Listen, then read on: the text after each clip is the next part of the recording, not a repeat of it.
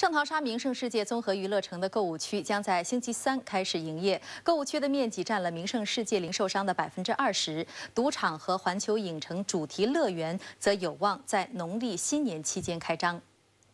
干净的地板、明亮的窗户，本地第一家综合娱乐城的员工忙着在正式开业前做最后的准备。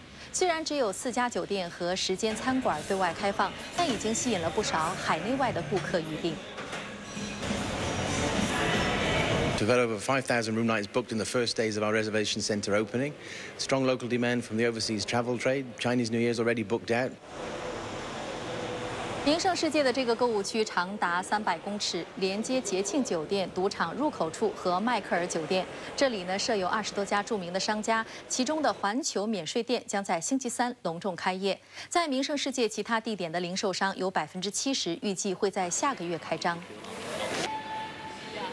现在我们就是等着啊那个 Euro Studio 他们的开幕日期。如果一开张的话，我们就会把我们的这个配套就是直接啊呃呃给我们的呃外国的呃旅行社。